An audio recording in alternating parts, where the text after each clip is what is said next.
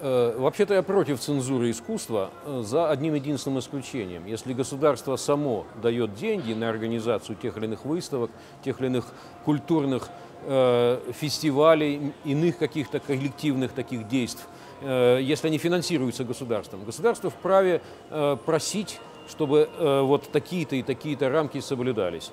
Если же это частная инициатива, то здесь цензуры, кроме той и ограничений, кроме тех, которые прописаны напрямую в законе, быть не должно. Э, В данном случае по поводу Перми, насколько я знаю, там присутствовало государственное финансирование, ну поэтому государство вправе давать или не давать деньги, выделять или не выделять помещения э, в такого рода случаях. Э, Что касается конкретно выставки и ее содержания, мне трудно судить, я их не видел.